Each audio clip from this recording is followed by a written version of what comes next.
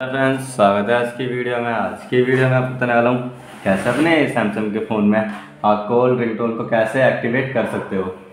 तो वीडियो शुरू करने से पहले तो हमारे चैनल को सब्सक्राइब करें वीडियो को लाइक करें और बेल आइकन दबाना ना बोले चलिए चलते हैं अपनी वीडियो की ओर। तो सबसे पहले आपको अपने फ़ोन की सेटिंग को ओपन कर लेना है। सॉरी फ़ोन वाले ऑप्शन को ओपन कर लेना है। तो फ़ोन वाले ऑप्शन को ओपन करने के बाद आप देख सकते हो यहाँ पर क्या कहते हैं, हम कोई भी कॉल लगाते हैं।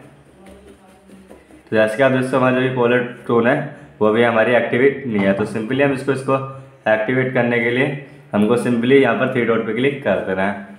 थ्री डॉट पे क्लिक करने के बाद आप दोस्तों हमको ऑप्शन मिलता है सेटिंग्स का। तो सिंपली हम सेटिंग वाले ऑप्शन पे क्लिक कर देंगे। तो सेटिंग वाले ऑप्शन पे क्लिक करने के बाद आप दोस्तों हमको यहाँ पर ऑप्शन मिलता है कॉल रिकॉर्डर तो सिंपली हम इस पर क्लिक कर देंगे।